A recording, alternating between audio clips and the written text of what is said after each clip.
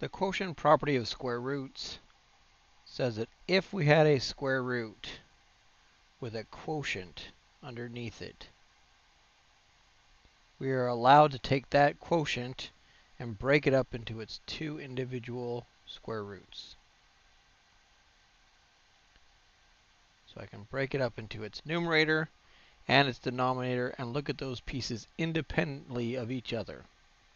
Now, how does this help us? Okay, well, sometimes we're going to get square roots.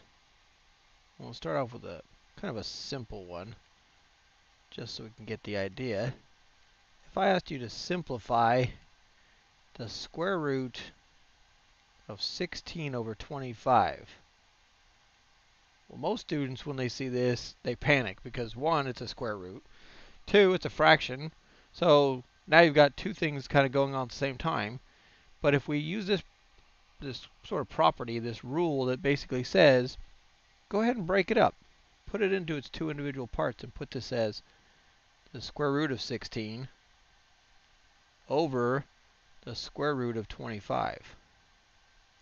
And now, rather than looking at this as a fraction, let's just look at what happens to the numerator and what happens to the denominator.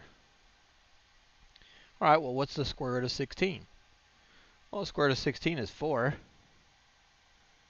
And what about the square root of 25? Well, that's just 5. And there's our solution. We've now simplified the square root of 16 over 25. So rather than looking at this whole fraction, we break it into its smaller, more simple version in terms of its terms. Okay, well, where's this going to help us when we get to some other ones? Well, there might be something that looks like this simplify.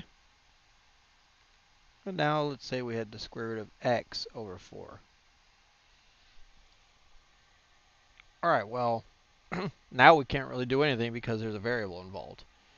So this kind of changes our picture.